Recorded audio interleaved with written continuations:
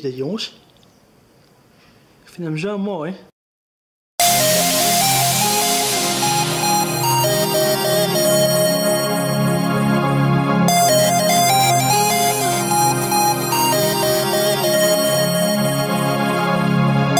Hallo jongens en welkom bij Hoogtekamer.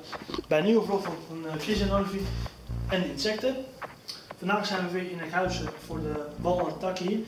En hebben wij iets heel bijzonders.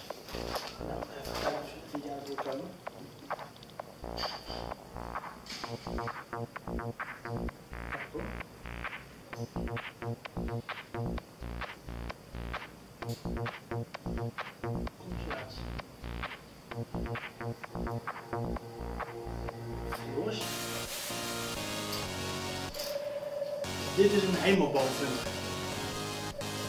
Een nachtvlindersoort. Een van de grootste vlinders ter wereld die we hebben. Deze zijn vorige week zijn ze uitgekomen. En we hebben er al ontzettend veel. Mooi is, deze vlinders zijn fantastisch maar groot. Kijk eens hoe mooi die is. Kijk eens wat een mooi exemplaar. Kijk, die is toch prachtig. Ja, uh, hemelboomvlinders zijn in principe nachtdier. Ik ben een filmpje aan het maken voor de familie. Ja. Ik zet hem zo weer terug hoor. Nou, Oké, okay. nee, ik dacht, ik zeg het eventjes.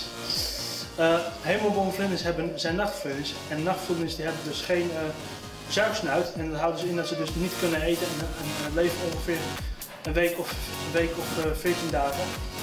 Daarna gaan ze helaas dood. Het is wel een prachtige mooie vlindersoort. Ze hebben ook al eitjes gelegd, dat is ook heel leuk.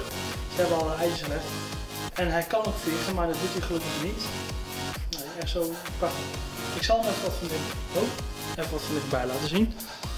Kijk, je ziet dit prachtige mooie tekening op de vleugels. Je ziet ook gelijk die, ja, echt zo'n prachtig mooi dier is dit jongens. Ik vind hem zo mooi.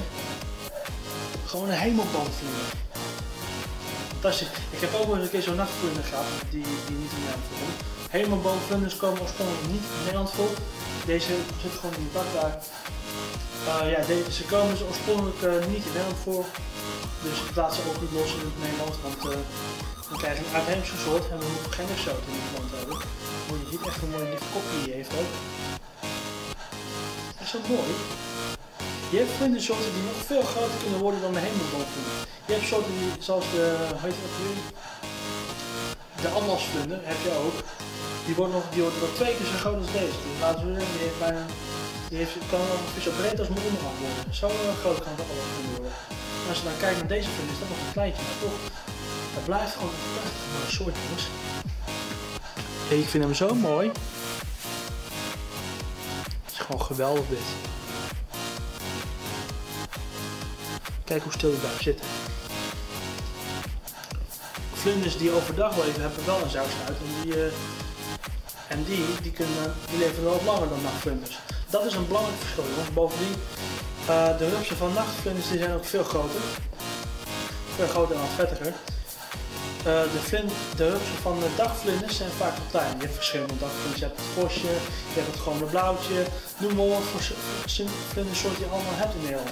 De citroenvlinder is ook, is ook zo'n zo groenige vlinder. En uh, hoe heet ook weer? De, het koolwitje is een van de meest bekende vlinders van het land. Die zie je gewoon echt bijna overal. Ook, uh, ook in de heentuin vliegen er veel rond. Het is gewoon echt uh, prachtig, gewoon prachtig mooi beest. Ja, je bent een beauty. Je met? Ik ga even wat inzoomen weer. Oh, oh, oh, oh. Wat moet inzoomen. Even op andere stand zetten hoor. Ik wil mijn camera net een beetje moeilijk. Want ik kan hem dus niet op zo'n microstand zetten, want dan kon je hem nog wat beter zien. In ieder geval, dit is gewoon echt een prachtig mooi film. Ik ben er zo blij mee. Kijk, je ziet wat beter zo.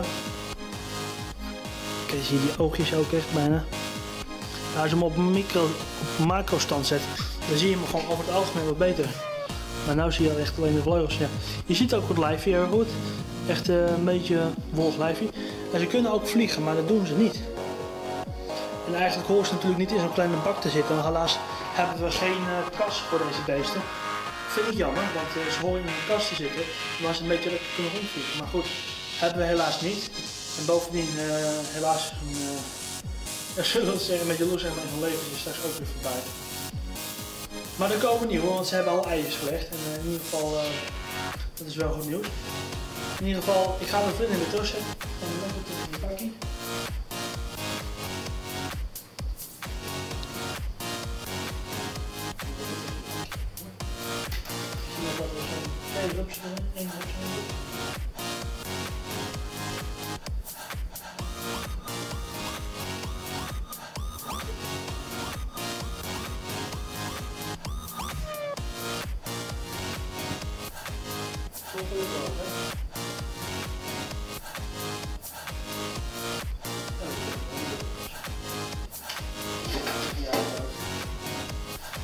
ik heb hier nog een. Ehm, je ziet het vaak ook in de bakken.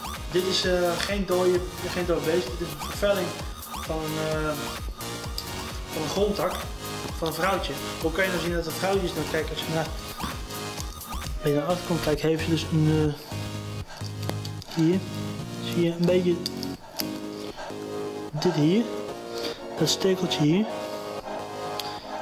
En dat is, en eh, dat is de legbof van haar.